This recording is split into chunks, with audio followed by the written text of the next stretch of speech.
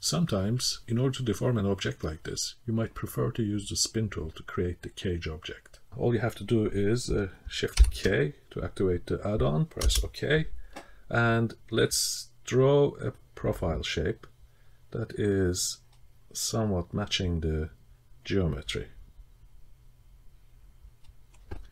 Press Shift K again, and let's turn on spin, change the axis to Z in this case, Switch to user perspective by pressing numpad 0.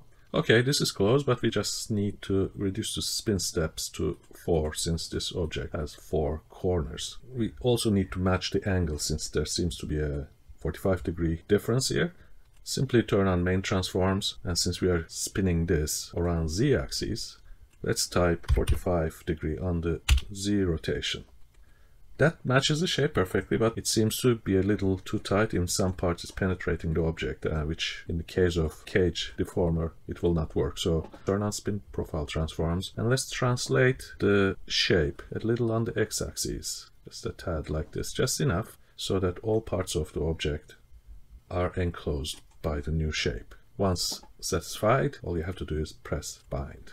Confirm Select the cage object, press tab to switch to edit mode. Preferably you can also turn on proportional editing. Uh, let's also turn on X-ray. I'll go to front view for this. Let's select certain parts of the object, press G to move them, and let's do some modifications. And once satisfied, you can go back to object mode again. Now we already have a shape key set with the value by default set to 1. If you reduce it to zero, you'll go back to your original shape. Let's turn off the X-ray. And you can now also animate this if you choose to by keyframing this value. Enjoy.